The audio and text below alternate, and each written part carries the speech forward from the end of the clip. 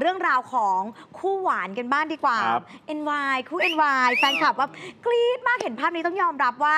พอเลื่อนอินสตาแกรมเห็นปุ๊บโอ๊ย อิจฉาเอามาใช้คำว่าภาอิพจเนี้ยฉาเด็ดปากเลยอะเอออ่าหวานกันเหลือเกินค่ะ คู่ของณเดชน์คุกิมิยะแล้วก็ยาย่าอุรัสยานะคะ เพราะว่าล่าสุดเนี่ยยาย่าเขายกแก๊งเพื่อนสาวสมัยเรียนเนี่ยไปเที่ยวที่ภูเก็ตกันอืมแล้วก็ต้องเล่าแบบนี้ค่ะ คือยาย่าเองเนี่ยเขาไปรวมตัวกับเพื่อนสมัยเรียนใช่ไหมไปเที่ยวภูเก็ตก็ขอแบบเป็นเที่ยวแบบปาร์ตี้แบบ girl group ครับเป็น girl gang ไปกับเพื่อนๆอะไรประมาณนี้ก็ถ่ายรูปสวยๆชิลๆกันริมทะเลณเดชน์เห็นปุ๊บอดใจไม่ไหว กดจองตั๋ว booking ทันทีเลยเออตามยาย่ามาภู เก็ตเลยทำไมเรารู้ว่าเขากดตามนั่นแหละรู้ได้ไงอะ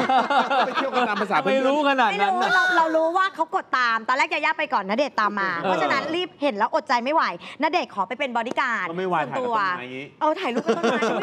ใบใหญ่มากอันนี้ ก็เลยบอกว่าณเดชน์ตามไปนะคะ แต่พอณเดชน์ตามไปเสร็จปุ๊บงานนี้บรรดาแฟนแฟนคลับ NY ทั้งหลายก็ต้องแบบร้องฮู้ฮาฮู้ฮาเลยด้วยภาพนี้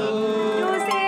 นี่สิอุ้ยอย่างนี้เลยนะแหม่แหม่กันคนละไหล่คนละข้างแล้วไม่ต้องเห็นนะในอินสตาแกรมเวลาเขาแท็กกันนะเออฝั่งยาย่าแท็กว่าคุกิมิยะอ่าแล้วก็ฝั่งของ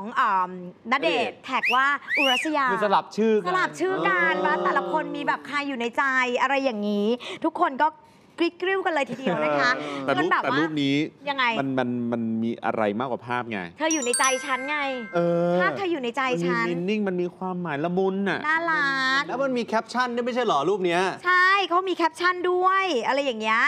เออประมาณว่าแบบว่า เหมือนแบบหวานๆกันอะประมาณนี้ยานะย่าคะแอนแบรี่เอใช่ไหมออะไรอย่างเงี้ยประมาณนี้อืมซึ่งแบบก็รู้แหละว่าสองคนนี้เขารักกันช่วงนี้แบบว่าหวานกันเหลือเกินรักกันมานานแล้วทำให้เพื่อนคอมเมนต์เข้าไปแบบว่าวิดวิวกันเต็มไปหมดเลยเออไม่ว่าจะเป็นแบบว่าอย่างอย่างอุรัสยานะคะ อย่างยาย่าเองก็มาหัวเราะกลับ เพราะว่าณเดชน์เขาบอกว่ายาย่าแอนเบอร์รี่ใช่ไหมเออเต้ยจรินพรง่า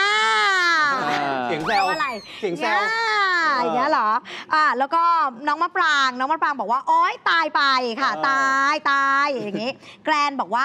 กรี๊ดโอ้ my god อย่างเงี้ยทุกคนก็บอกโอ้เอ็มซีกัทุนกหมคดนพยายามสื่อสารแบบอารมณ์ อารมไม่ณ์มีอารคำมพูณ์ดถูกต้องคือมันบรรยายเป็นคำพูดไม่ได้อะเนาะ คิ้วอย่างนี้ เออ น่ารักดีค่ะ ภาพนี้ทำให้หลาย ๆ คนน่ารักแบบ น่ารัก เห็นภาพนี้เชื่อว่าหลาย ๆ คนอมยิ้มตาม อืม ดีใจกับความรักของคู่นี้เช่นกันนะคะ